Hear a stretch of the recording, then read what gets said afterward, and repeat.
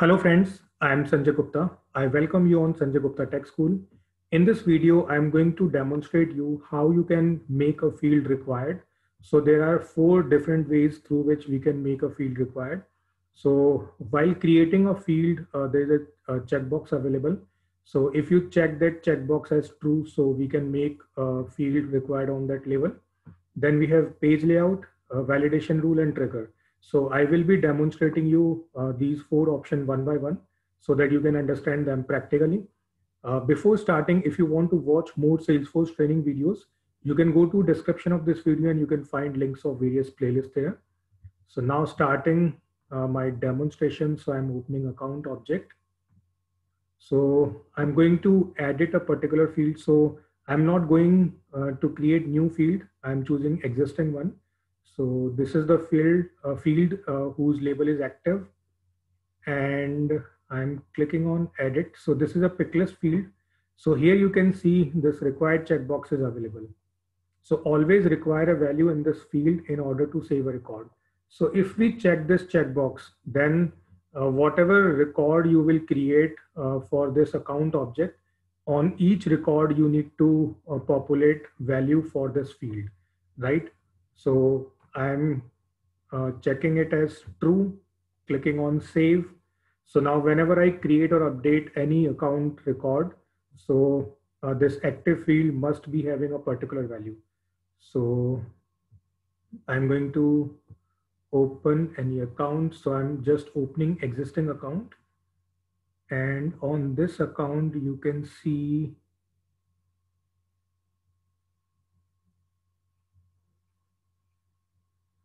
Yes, here active is populated. So I'm going to edit, clicking on none and uh, clicking on save. So here you can see review the following fields active. So here we need to populate some value and then uh, we can save this record, right? Now, if I try to create new record, so account name I'm providing and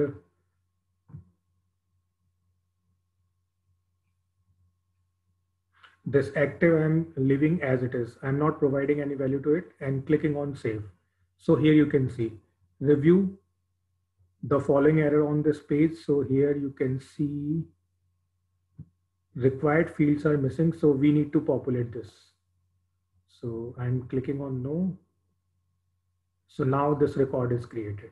So this way on field level, you can check this checkbox so that whenever you are creating or updating any record, so you need to populate that field, right? So this is the first way to make a field required. Now I am clicking on edit. So drawback of this uh, required is uh, you don't have any option like, uh, let's say you have two record types and for one record type, you are using one page layout. For another, you are using another page layout. And for one page layout, you want this field to be required and for another, you don't want. So if you check this checkbox, then that functionality can't be implemented. So I'm unchecking this, clicking on save.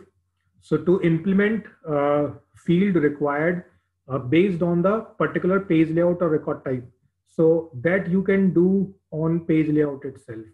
So let's say we have four different page layout and on this page layout, I just want to make this field as required. So I need to open this and I need to search for that field. So here it is active. Uh, so you need to click on this properties and here you can see this required option is available. So I can check this checkbox from here, clicking on OK and clicking on save.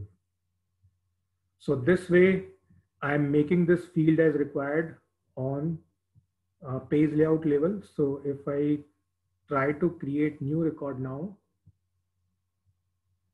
so I'm putting account name as test and I'm leaving this active as it is. So here you can see this red mark is available now. And if I try to save, so here you can see these required fields must be completed and field name is active. So we need to populate this and then only we can save this record. So now this uh, uh, this uh, error was thrown uh, because we applied required on page layout level. right? So if you have multiple page layouts and on some page layout you want to make a particular field required and on some layout you don't want, so you can do that uh, from here. So I'm unchecking this. So this was our second method uh, that is to make a field required on page layout. So I'm clicking on save. Now, if we make a field required on page layout, then it will be required for all the profile users for that specific page layout or record type, right? Now, if you want like some profile users uh, uh, must be entering that value and some profile users uh, can skip that value. And uh, let's say if you are creating your uh, record, then uh, you can ignore the value. And if you are updating the record, then you need to provide the value. So these things you can control with the help of validation rule. So now I'm going to create a validation rule on account. So creating new validation rule. Check active. Here you can write the description and here you can create your error condition formula. So the method we need to use uh, is blank field is active, right? So if active is blank, then this validation rule will be fired. And the error message, please populate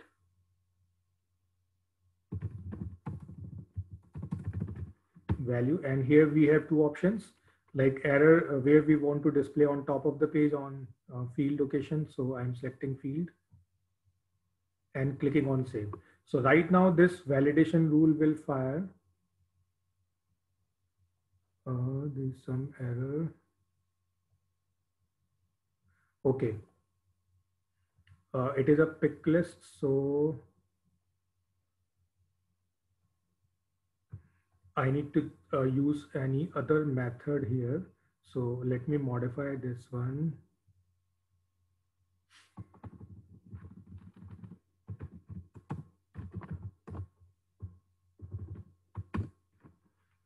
Let's check the syntax.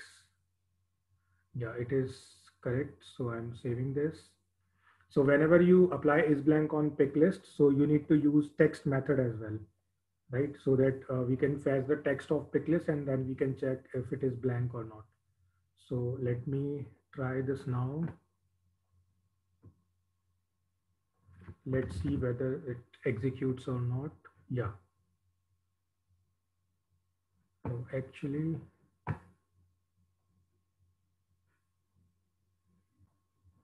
so I just uh, refreshed this page and now I'm going to create new account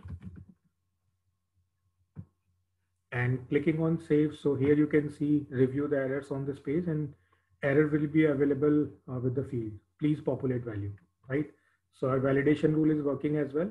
So now I'm going to added that validation rule and I will modify like if you are creating uh, your record, then this validation rule will fire, otherwise not. So I'm uh, putting is new and is blank. So if new record is created and then uh, this active is blank, then validation rule will fire. And if you're modifying or updating your record, and then in that case, if active field is blank, then this validation rule will not fire. So this way you can add additional functionality uh, while using validation rule for uh, making a field required. So now if I try to create new record and click on test, so you can see this error is still available. But if I try to modify any existing record, and if I leave active field as blank, then it will be saved. So you can see no error is coming because in validation rule I applied uh, is new. So if record is new, then only this validation rule will fire. So similarly, you can apply record type checks, you can apply profile checks, you can apply permission set checks in this validation rule. So this way you can uh, this way you can uh, uh, customize your validation rules so that you can make a particular field required. So this was third thing. a validation rule to make a field required. So now last one is trigger. So uh, for trigger, we need to use custom code so that uh, we can make a field required. So I'm unchecking this and I'm taking you to the trigger. So this trigger I have already created. So it was commented because I just demoed you three other ways. So now I'm making it as uncommented. So this is the trigger name work will be working on account before insert, before update. So here also you can control like when this uh, trigger will be executing. Then the new record information will be available into trigger.new. So we, we are checking uh, acc.active is blank or null, then this error will be added, right? So uh, in this code, you can control various things as well, like you can control record type profiles, other checks you can apply. So uh, now I'm going to refresh this. And uh, if I try to create new record,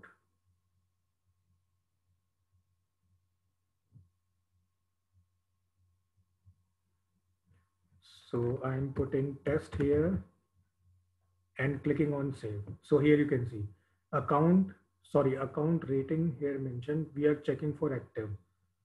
So we can modify this active field is required. So I'm modifying this message so that appropriate message should be displayed. So again, I'm clicking on save so you can see modified error message available here. Active field is required, right?